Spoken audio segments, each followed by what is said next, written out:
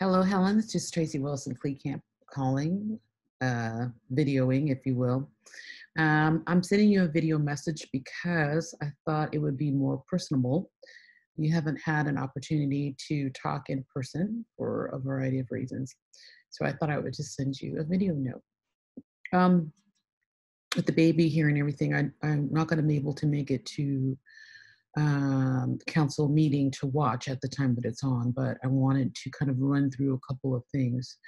Um, one thing I, I, wanted to compliment um, the uh, administration about was sort of switching gears after COVID started about how they were going to do homework, etc., um, with students. And I thought that was very um, admirable in admitting that, wow, what we thought we were going to do, we can't do it, we have to revise it. So uh, that's probably like the strongest transparent move I've seen the district make in the past year. So I thought that was a very good.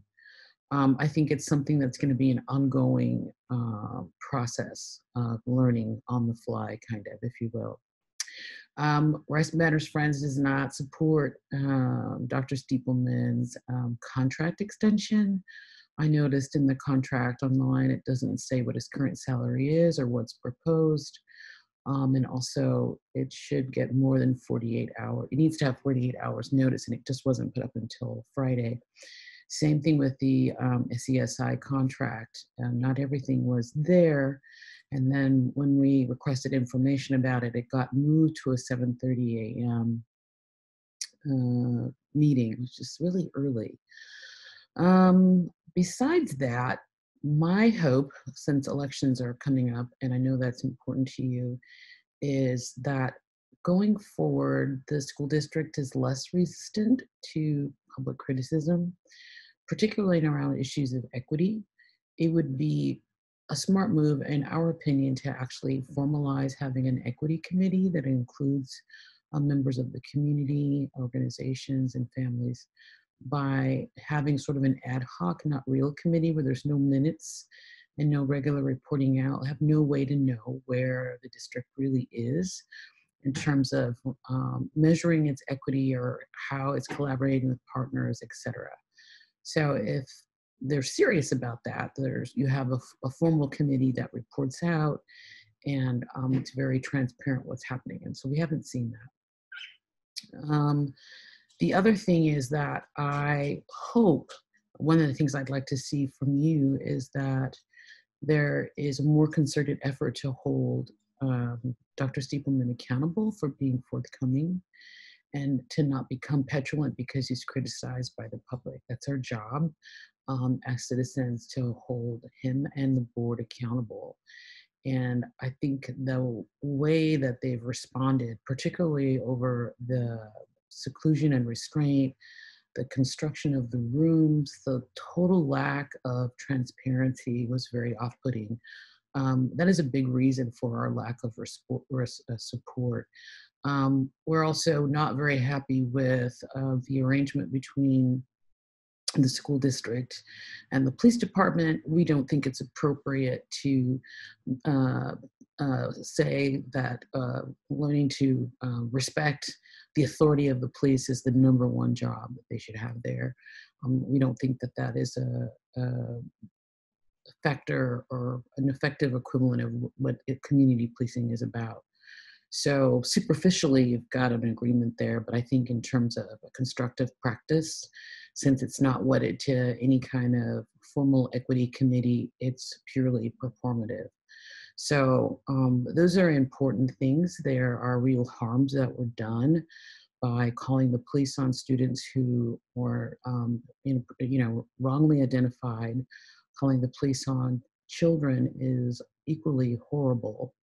So somehow or another, the administration needs to get those um, those items. I want to stay under control, um, but to be more proactive and in terms of their outreach with the community anyways, I do hope to get to speak with you in person. If not, we can video back and forth. But I wanted you to see my body language to see that I'm not angry. I am having some very direct um, responses to you. But I, I think the biggest uh, two things for me and our organization looking forward is that you hold Dr. Stiepleman accountable. And sometimes that means having some very direct conversation publicly. I think the public can handle that. We should see that.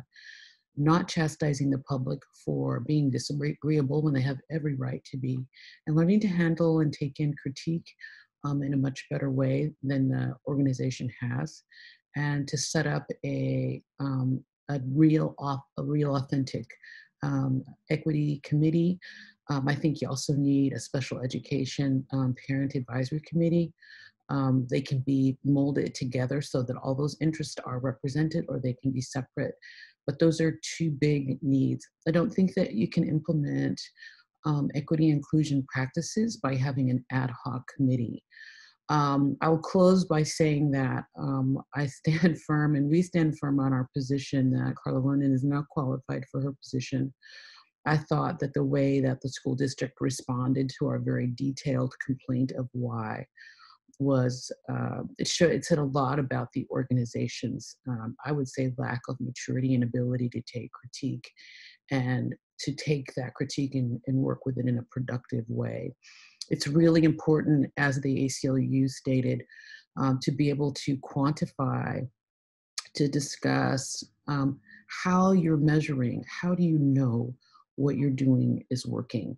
And doing more training is not an effective answer for um, what what is it doing to your organization to um, make it more inclusive. And I also want to say sometimes using that language of diversity, inclusion, and equity so much, we lose track of like what it really is and what it should really look like. And given the disparities that the school district has, I'm concerned that we're not there. Um, I also take exception, and we've spoken to many people about this, and Race Matters and other local groups, the way the data is presented in terms of Black students versus all. Um, the response, again, from Dr. Stiepleman to that concern is really unacceptable. And um, we have too many examples of school districts that do a much better job with data rather than playing to um, a deficit mindset in terms of Black students. So those are my quick thoughts. I look forward to hearing back from you. Thanks.